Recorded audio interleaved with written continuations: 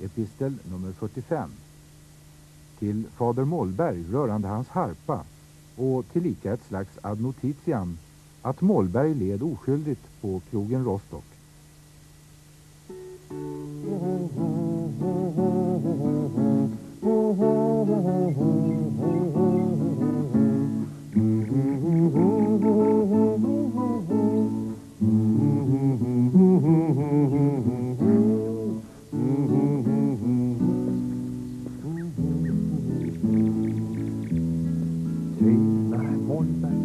Hur är det fatt?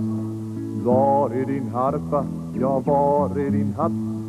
Ack, hur din läpp är kluven och stor Var har du varit? Jag svarar min bror Till Rostock min far, min harpa jag bar Där börjas skrackel om mig och mitt spel Och bäst jag smeter pling plingel i om en skoflickare ju bent och lång. Högg mig på truten Pling plingel i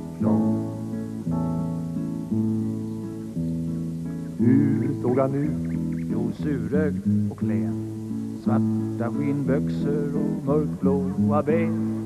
Uppfästad hatt med guldräns och band.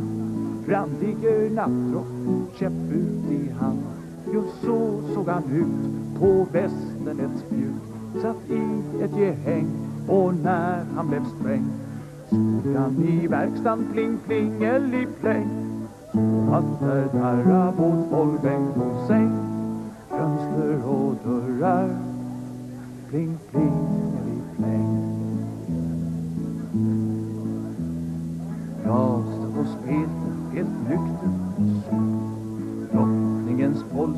I Polen är du. Runt omkring mig satt förståndiga män. Den drack ett stort, en halvstort drack den Men hur det var fatt slog en av min hatt En ansad åt mig Vad fan går dig? Polens affärer pling plingel i plång. Spela en polska men lär dig någon gång. Satan för tunga? Pling plingel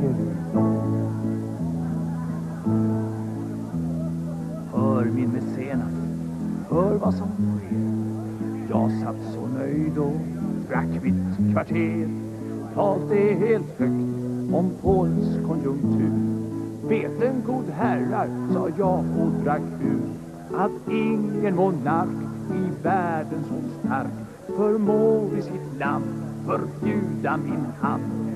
Att min harpa pling pling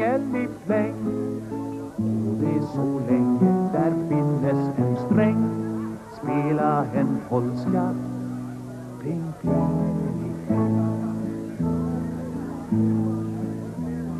Nu satt i vrån en gammal sergeant Tvenne notarier och en stolt drabant De ropa Slå! skoflickan har rätt! Polen är straffat, det stöde utmätt Ur skrubben kom fram en vindögd madam Slog harpan i kras med flaskor och glas Skoflickan högg mig pling pingeliplong i plång Ut i nacken en skorsa så lång Där har vi saken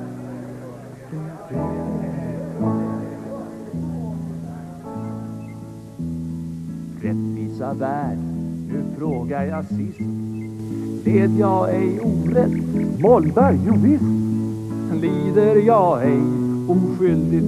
Gutor! Harpan är sönder och näsan är sås Ett svit sådan förtret ej bättre jag vet än fly ur mitt land med harpan i hand. Spela för Bacchus och Venus klingklang Bland virtuoser ta stämma och rang.